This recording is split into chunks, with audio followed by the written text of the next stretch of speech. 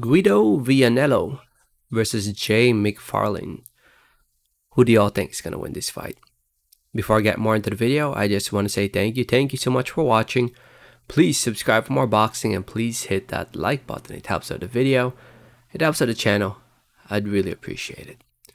So this fight between Vianello and McFarlane is scheduled for 8 rounds in the heavyweight division to take place this coming Friday on the 28th of October. October 28, 2022, live over at the uh, Pala Atlantico in Rome, in Italy. Uh, this fight will be shown live over here in the United States of America on ESPN Plus.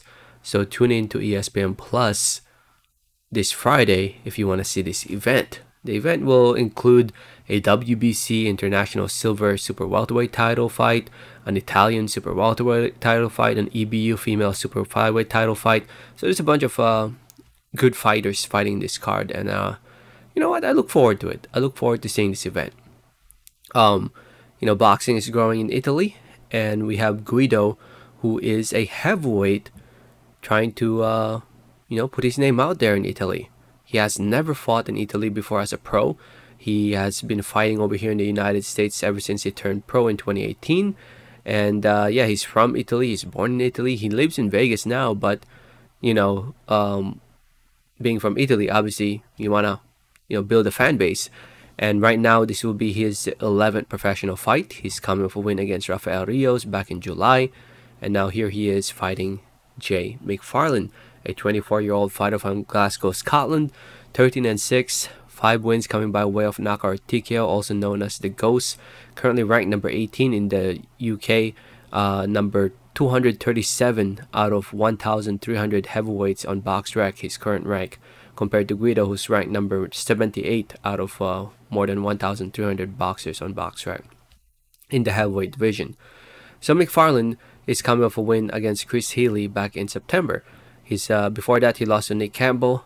Um, did pretty well in my opinion. Even though he got stopped in that fight, he he put a lot. He showed a lot of heart and determination, and that's what I expect from McFarlane in this fight. Him being the aggressor, showing a lot of heart, determination, toughness, moving forward, putting on the pressure, and cutting off the ring, and just trying to get in the inside within range of Vianello to uh, work inside to work in the inside. Uh, but in the end, in my opinion, Guido's boxing skills with his height and reach, with that jab, I think will lead to a win. Plus, he has the hometown advantage.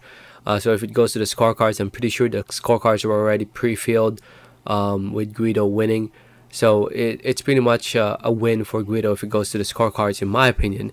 Uh, but you know, I think Guido, if he uses that jab and that, that right hand follows up with that jab, um, I think he should be able to break apart Jay McFarlane and, and possibly win by TKO in, in towards the later part of the fight, maybe around 6, 7, 8 uh, by TKO. But if he goes a distance, I'm, I'm pretty sure Vianello will win uh, either by close decision or by wide decision. I, I can't see McFarlane losing this, winning this fight in the scorecards. Now, do I think McFarlane has a chance to stop Vianello? Yeah, I do. I mean, it is the heavyweight division. These guys are 200 plus pounds. One punch can change the entire fight. And the one thing about Vianello, he tends to have his chin up. He doesn't have his really chin tucked in. So with that chin, with his chin up, one punch, he will go down, depending on how clean the punch is, in my opinion.